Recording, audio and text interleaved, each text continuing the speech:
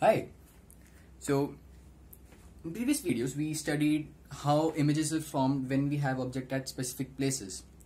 Now, in this video, we will try and mathematically relate how are the image distance, the object distance, and the focal length are related with each other. And we'll study some another important part called magnification of an image.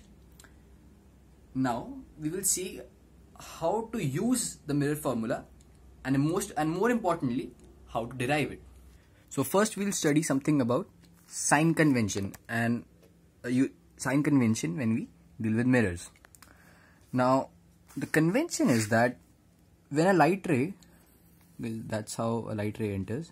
That's how the incident direction, this direction, okay, this one is considered to be positive. Why? This is just a convention which we use to make things more general so if light ray comes from left to right we can call uh, this side as negative and this side as positive so this side is positive all the objects and this one will be negative now in order to do this we can imagine our mirror the pole of the mirror to be placed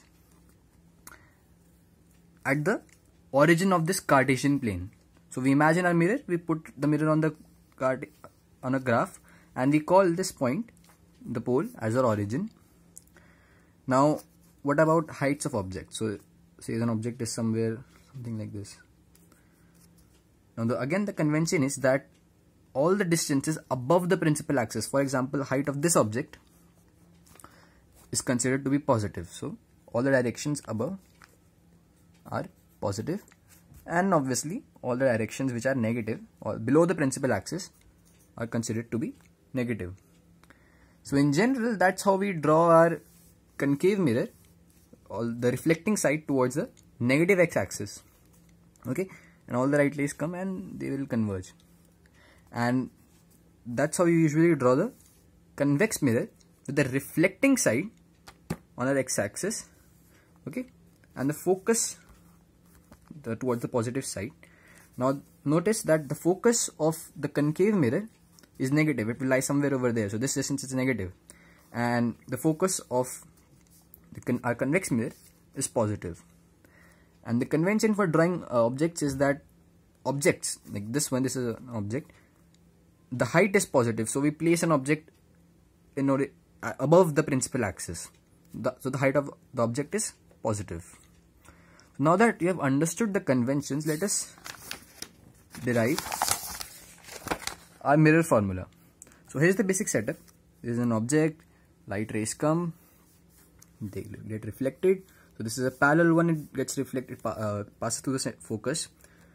And instead of drawing the uh, ray which was passing through the center of curvature, I have taken this one, the one which goes on. It's the pole of the mirror and then reflects okay? Now let it labels few things. See this is this is the height of the object. Okay? So we can call this as HO height of the object. And how will our image form? Well our image will form something like this. Okay? Yeah? And the height of the image is denoted by HI height of image. Now this is the important part that the height of image is negative because that's our sign convention.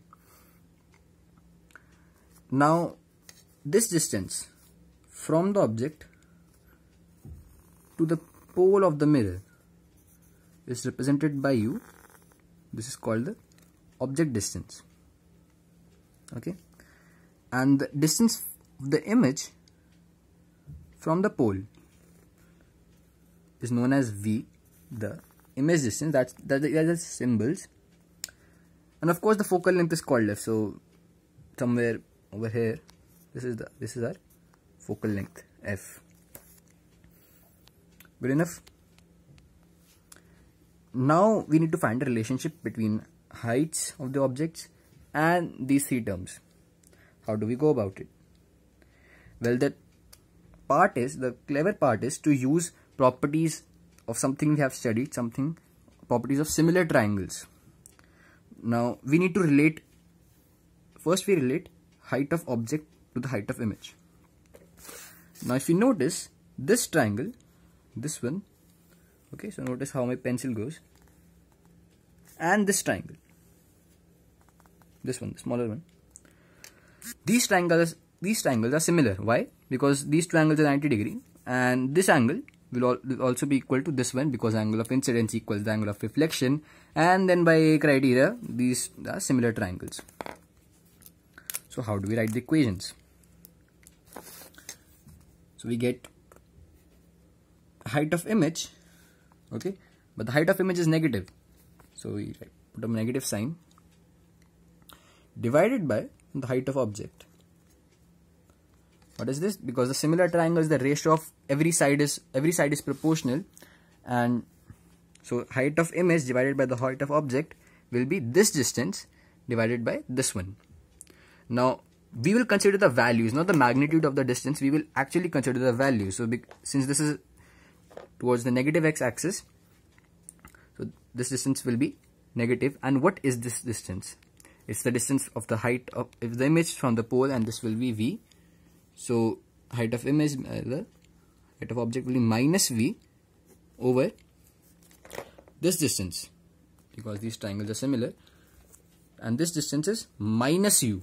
Okay minus u.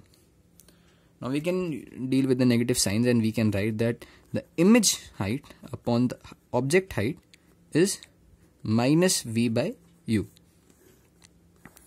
Now this let me box this e equation because this is very important we can use it later.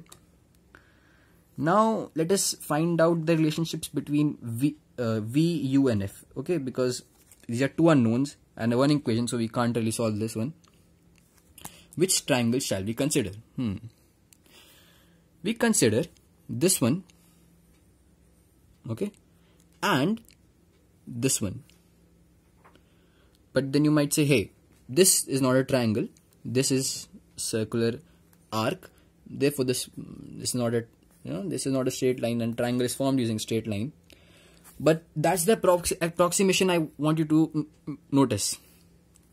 The thing is all these equations all these formulae and you know the image ray diagrams we have studied all these are valid if our rays are parallel to the principal axis yes and very close to the principal axis.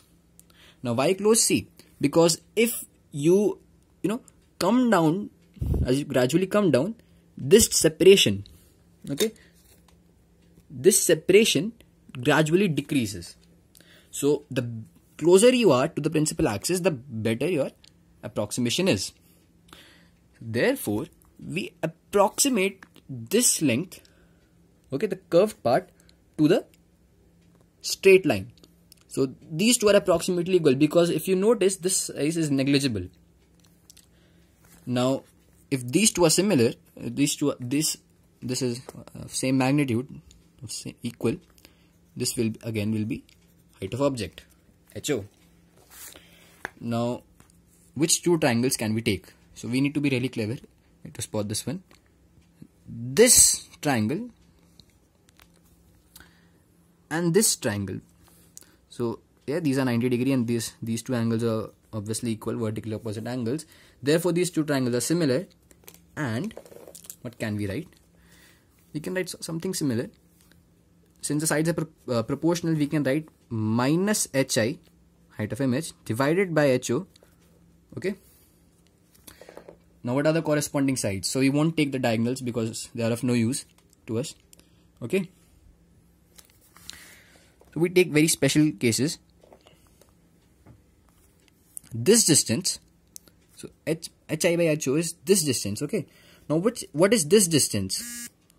This is v minus f. Clearly this is v minus f. So minus uh, is equal to minus v because we are taking the uh, signs. Minus of the focus is focus itself is negative. So minus f divided by our focal length. And focal length is negative and that's how similarity works. And then you can simplify this okay? Now this implies that okay let me now this down. So minus hi by ho will be minus v plus f by minus f okay? Yeah. So we we can do this. Hi by ho will be nothing but f minus v upon minus f. Yeah and then therefore we get it hi by ho is nothing but v minus f upon f. Okay. Now here is the important part. The left hand side of these two boxes are equal. Therefore this ratio must be equal to this ratio. That's the important part i need you to figure out so we can equate these and by equating we get minus v by u is v minus f upon f. Okay? Now if we expand this term we get something like v minus u minus v by u is v by f. Okay? Yeah, minus 1 and then we can divide. We can we will get by both sides by v we get you know 1 by u equal to 1 by f minus 1 by v. Okay. And then we can arrange it into a similar form.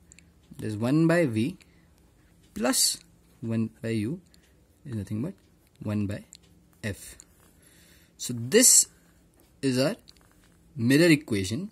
This is our mirror formula. And notice this is general. This is true for every case. We have proved this using a concave mirror but this is general for every case because this is sign sensitive. So the important thing is whenever we use this formula we need to be aware of the signs and the ratio hi by ho okay the image distance to the image height to the object height is itself called magnification. So m is nothing but hi by ho height of image divided by the height of object which is minus v by u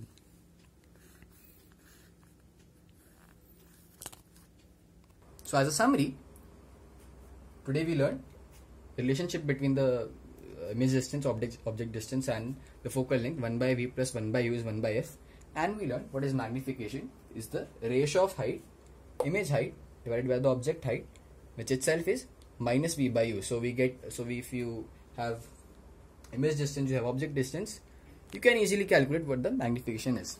So thanks for watching and I hope you like this one.